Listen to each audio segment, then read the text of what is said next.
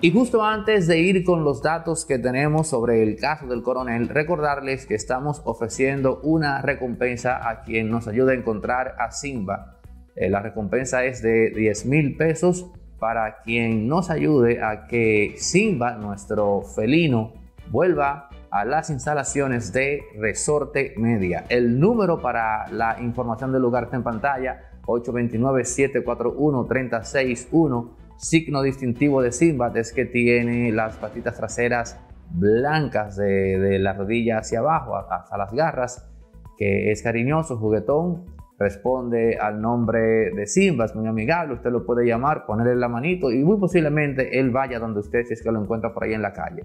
La recompensa, repito, es de 10 mil pesos a quien nos ayude a dar con Simba. Ahora sí, vamos con los contenidos.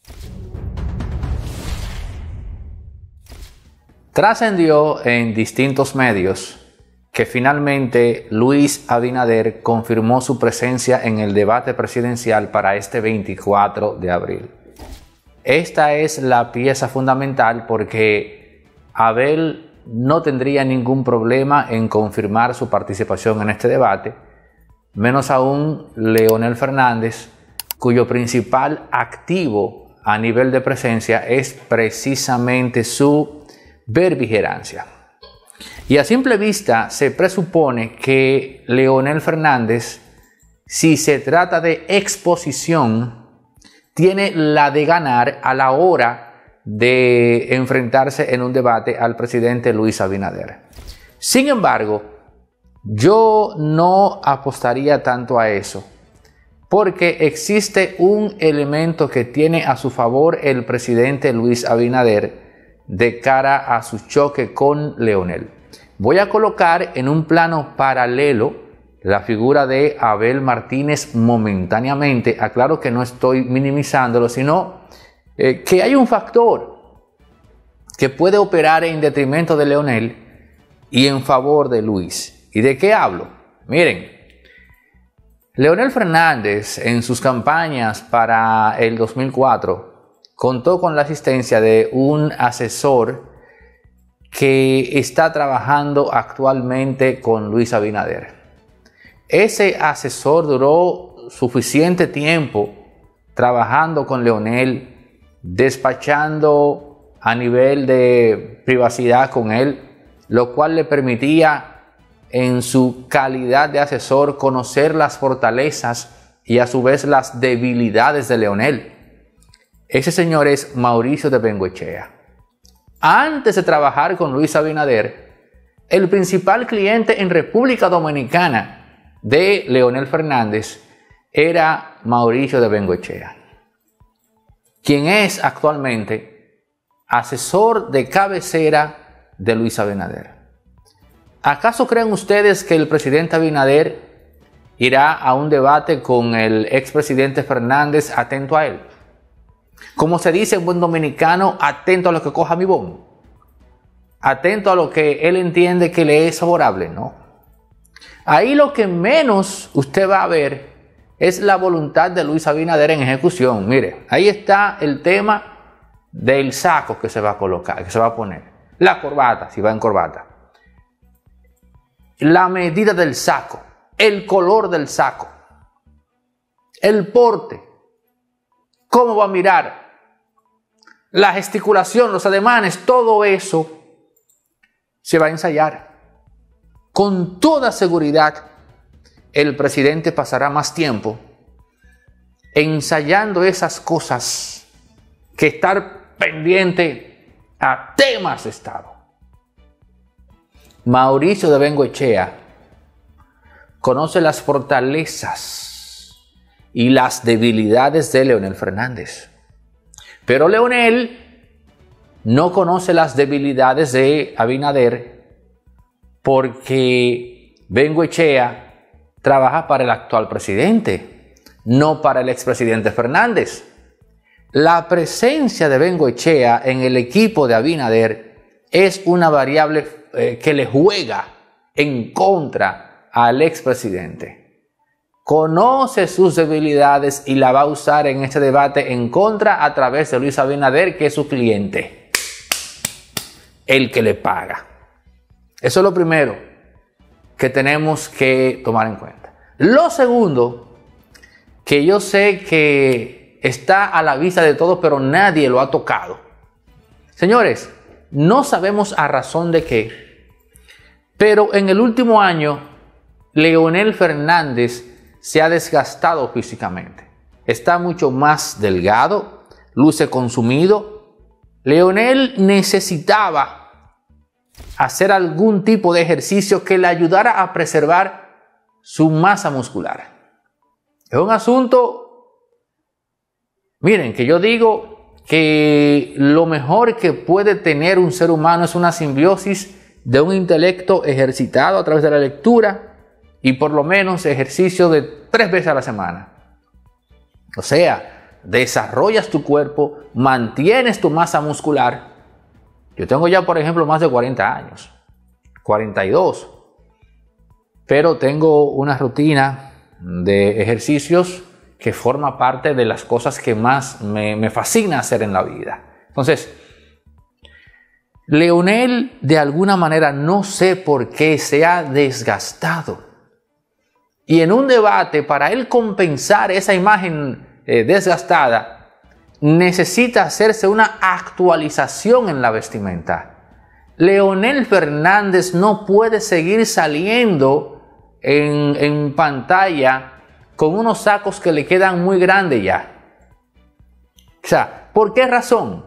Porque en términos semióticos, cuando la audiencia procesa esa imagen y la decodifica, lo que le queda a la gente es que actualmente Leonel Fernández está enfrentando una carga que le abruma. Y eso viene a través del saco el detalle del saco que lo arropa. Y se ve entonces como que está cargando algo. En ese aspecto, Danilo Medina hizo la actualización del lugar. Y Danilo, por ejemplo, se manda a hacer los sacos. Leonel no puede salir en pantalla con un saco, señores, que la manga le, dé por aquí. Y que esto aquí lo, lo, lo arrope. Porque se ve, o sea, lo que queda como mensaje es que el expresidente se está dejando dragar, se está dejando aupar por una carga que él no puede llevar. Eso es lo que queda cuando la gente ve esa imagen, ve ese saco más grande. O sea, a Leonel hay que hacerle chaquetas y sacos que le queden a la medida. La manga hasta aquí y que le queden lo más sujeto posible al brazo. Y si ya su brazo está muy delgado, hay que, hay que, em, hay que truquearle eso. No le voy a decir que se ponga a hacer ejercicio por dos razones, ejercicio muscular. Si ya a sus setenta y tantos años él no desarrolló ese hábito, no lo va a hacer. y lo segundo es que yo no sé y Juan Carlos Simón que me corrija, si es posible que una persona que nunca en su vida hizo ejercicios para desarrollar masa muscular, tendrá éxito a los 73 si de repente emprende a hacer eso. Desconozco cuál es la respuesta del cuerpo humano. A Juan Carlos Simón que me responda. O sea, no, no, no saque ¿no? de la ignorancia en ese tema. Entonces, eh, están esos dos aspectos que le juegan en contra a Leonel. Leonel no puede ir allí con un saco como los que está usando ahora. Pero Leonel tiene que saber que hay un Mauricio Bengoechea que conoce sus debilidades porque fue su asesor y que eso lo va a usar en su contra. Entonces, ahí hay ya dos variables. La tercera es un poco más manejable y es el tema de la famosa tasa de rechazo. Y digo famosa tasa de rechazo y que es manejable porque con toda seguridad un porcentaje, no sé de cuánto, de esa gente que está ahí, 36. Óigame, con la exposición de Leonel, eso baja un 30 a un 28, porque todavía, todavía Leonel tiene efectividad en eso. ¿Qué le puede jugar en contra a Luis Abinader? Bueno, la frase aquella que dice que más sabe el diablo por viejo que por diablo. Son tres periodos de gobierno contra uno. Tres periodos de gobierno contra uno. Todavía, en base a la experiencia de Estado, Leonel le puede dar cátedras a Luis.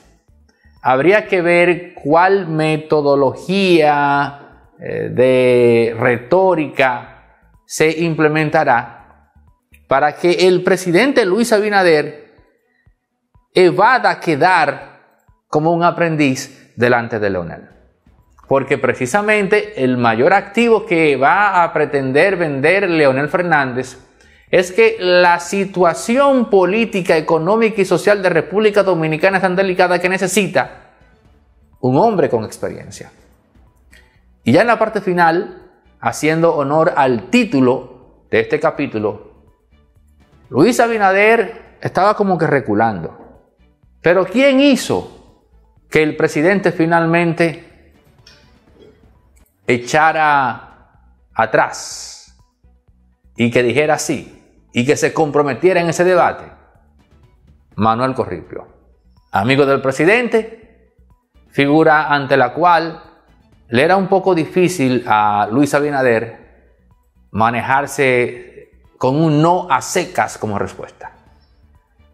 La información que tengo es que es la figura de Manuel Corripio quien convence finalmente a Luis Abinader para que acepte enfrentarse a Leonel y Abel en ese debate que voy a ver. Ese yo lo voy a ver. Ese debate yo lo voy a ver. Señores, gracias por llegar a la parte final de este comentario. Suscríbete, activa la campanita, comenta y comparte estos contenidos. Lo que todos quieren es más oportunidades para ganar. Lotedom, la lotería que todos quieren. Sorteos todos los días de 5.55 a 6 de la tarde. Atención a todos los profesionales, emprendedores y empresas medianas y pequeñas que quieren tener su contenido de calidad circulando por las redes sociales, dando a conocer sus servicios. En Resorte Media hemos habilitado una unidad audiovisual especializada en la producción de contenido corporativo, empresarial y para todo aquel emprendedor que quiere acogerse a aquello de que dice que una imagen vale más que mil palabras en efecto, podrás tener las mejores imágenes, la mejor calidad al precio más competitivo del mercado para dar a conocer tu servicio a todos acá en República Dominicana.